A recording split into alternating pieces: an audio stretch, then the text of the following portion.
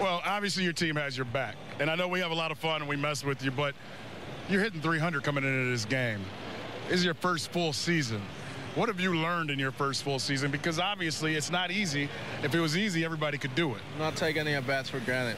Those at bats in April, at bats in May, they'll they'll get you late in the season. Don't get don't get comfortable. Don't get complacent. Um, and you just keep on working hard. You know, it's a long season, and baseball will humble you real quick.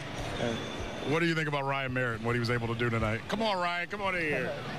Uh, impressive, impressive how he came out. He had 62 pitches in five innings. It was quick. You know, he went out and on uh, two strikes, got hitters off balance. He did what he had a plan, he had an approach, he executed. I'm happy for him, and he's going to be part of the Indians for a long time. God willing. You take that and give it to whoever you think needs it. Great job tonight.